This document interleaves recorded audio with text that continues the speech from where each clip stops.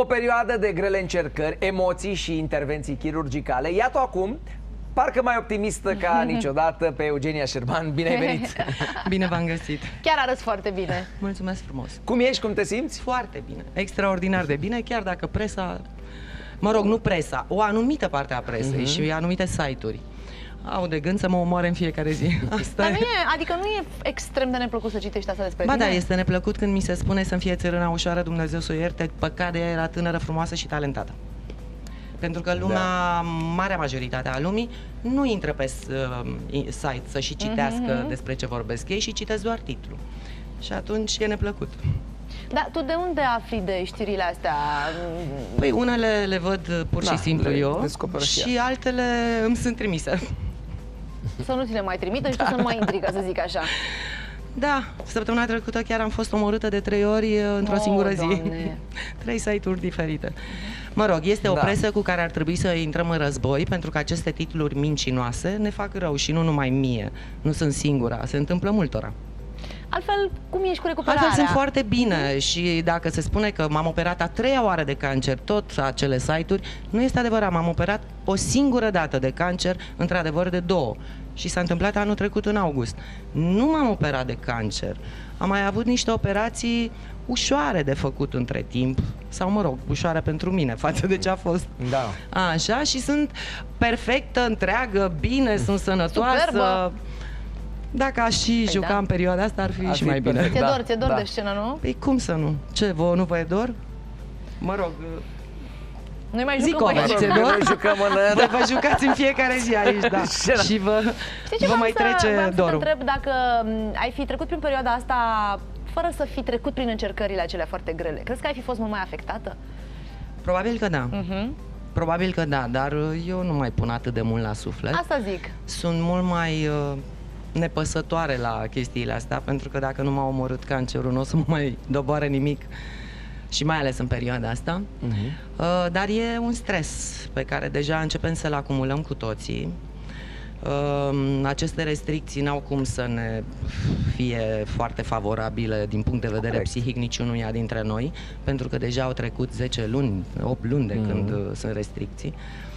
Da, să sperăm că o să ieșim cât mai repede din perioada asta. Normal, ne dorim Adică cu măcar asta. primăvara să ne aducă primăvară și în suflet și în să minte. Iasă și Da. exact, din toate Dar punctele de vedere. Dar ce putere să fii atât de optimistă?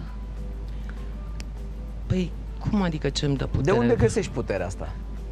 Nu știu, habar nu am, dar dacă m-ai fi întrebat acum 2 ani de zile, uh-huh. Eugenia, dacă ți s-ar întâmpla asta, cum ai fi? Și aș fi spus că, Doamne ferește, aș fi dărâmată. E, nu e chiar așa. Când uh-huh. ți se întâmplă, găsești putere în tine. Uh-huh. Mai ales atunci când iubești viața și eu iubesc viața. Ce face fiul tău? Foarte bine, în afară de faptul că și el e stresat ca toată lumea din cauza restricțiilor. Toți am început să acumulăm stresul. Ce relație aveți voi doi? Păi noi am avut o relație extraordinară dintotdeauna pentru că am crescut împreună. Eu l-am făcut foarte tânără, n-aveam nici 24 împliniți când l-am născut și am divorțat când el era destul de micuț, n-avea nici 3 ani și atunci am crescut împreună. Uh-huh. N-ați avut și perioade mai dificile? Când e, era normal, cum? Sau... Ba da, cum? Când uh, ajung să-și ia buletinul, toți copiii, că sunt fete, că sunt băieți, au impresia că lumea este a lor, că ei au dreptate în tot și e tăcă, e tăcă, e tăcă. Și că mama e un mare dușman. Da, probabil. și când mă întâlneam cu prieteni și făceau ce face fitul și zic, aoleo, nu mai îmi spune, dar câți ani are? Zic, 18 jumate. A, stai, stai că într-un an, doi, gata, se potolește. Și spuneam, cum, încă un an, doi? Așa? În și exact așa este, pe la uh-huh. 20 de ani și băieții se potolesc. Devin mai responsabili. Devin mai responsabili. Înțeleg că are și o relație lungă. Are o relație de aproape 8 ani, da. Și practic el are o treabă, are și el o relație, nu? Păi exact. Adică nu vă vedeți foarte des, nu sunteți... Uh... Uh, ne vedem destul de des, că stă destul de mhm. aproape, uh-huh. dar uh, ei stau amândoi. Uh-huh. Uh, la mine vin că trebuie să-și ia mâncărica făcută de mama. Dincolo de el, cine ți-a fost uh, aproape? Păi, în primul rând, familia, mama, surorile, prietenii apropiați, o parte dintre ei. O parte au revenit atunci când au văzut că sunt bine. Așa Ți-au explicat de ce? Ți-au explicat de ce au avut o ezitare? Sau au, au spus avut o că nu au știut cum să se comporte cu da, mine cum în să reacționeze, da. Cum să reacționeze. Este adevărat, dar până la urmă eram aceeași, nu se schimbase nimic. Ce nevoie aveai atunci N-aveam- din partea lor? Adică ce, ce ți-ai fi dorit? Să Nu, nu, nu. spună, să... Nu, era suficient doar să mă întrebe Mhm. ce fac. Atât. Uh, nu-mi plăcea nici să vorbesc despre ce mi se întâmplă.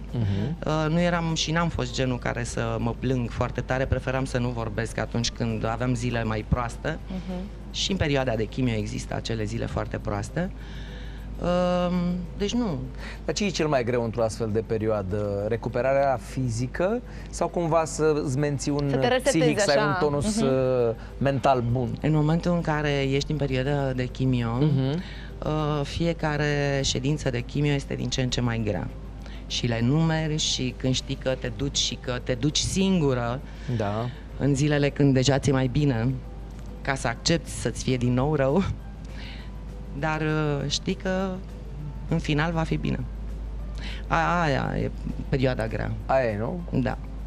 Și numeri uh, ședințele sau numeri timpul până la următoarea ședință? Nu mergi și timpul, uh, nu mergi ședințele, nu știi dacă reușești să le faci pe toate, dacă mai reziști, Și ai de rău? depinde de fiecare, da. Perioada aia, da, este cumplită. Câte- Este cea mai grea. Da, câte zile ți este rău după o ședință de Depinde de... chimioterapie? uh, În funcție de cancer, uh, citostaticele sunt diferite. Da, da. Uh, Dar cam o săptămână... Deci cam o după săptămână... chimio, E rău. Oh, da. Și următoarea Da. ședință după cât timp? Cam la trei săptămâni sunt. La trei săptămâni erau la mine. Ce e o săptămână în care ți-e rău, O următoarele săptămână în două, care o ți-e săptămână mai în care așa, o începi să- săptămână când ți-e chiar Și bine exact în și... Și perioada ești după aia te duci Și și pe urmă- știind că o să-ți fie iarăși rău. Exact, Chiar, da. chiar mai rău, Da, nu? da. Mm, Nu, că, uh, sunt cam toate la fel, dar Mhm, uh, prima este cea mai cumplită pentru că nu te aștepți să-ți fie atât de rău. Și atunci, uh, pe urmă încep să te obișnuiești și cu rău, cum se spune. Dar Da, prima da, este, da, da, da. nu știi că o să cazi atât de tare. E greu. A fost greu și cu părul. Da. Nimeni nu-ți spune că o să scadă și genele și sprâncenele, pică tot părul și nimeni nu spune că o să-ți pice și unghiile. E, na. Asta da, chiar n-am știut. Absolut. Da, probabil că sunt, sunt multe lucruri pe care le descoperi pe pielea ta, cum Exact, se zice, da. știi? Da. Pentru că medici, m, medicul te pregătește, medicul oncolog, că o să rămâi fără păr, pentru Da, că este da. impactul cel mai puternic pentru o femeie. Dar când mi s-a spus, vedeți că o să vă cadă și unghiile, am avut un șoc și mi s-a spus mult mai târziu. Uh, da. Important e că ești bine da, absolut, acum. absolut. Sunt ești foarte foarte bine. bine. Ești mai bine decât ultima oară, mult Sunt mai bine, pe, mi se normal, pare. între timp mi-a mai crescut Da. puțin părul, m-am Foarte bine recuperat, am terminat tot ce aveam de reparat la mine. Vreau să spun că stă foarte bine cu albastru. Mersi frumos, da. da. Ia Păi să... nu vor să mă vopsească și atunci m-am dat cu un albastru, așa, ca să fiu ca cerul. Poți să încerci și violet de gențiana. Uh, nu că este pre, spre mov, am încercat și, Și nu-ți nu. place, nu? Nu, n-am fost încântată, așa că prefer pe albastru, să fie în ton cu ochii. Ha. Mulțumim tare mult de vizită, Mulțumim multă foarte mult. Și sănătate. eu vă doresc să trecem cu bine toți peste perioada asta și să dea Dumnezeu să avem parte de sărbători frumoase. Așa e. Așa e.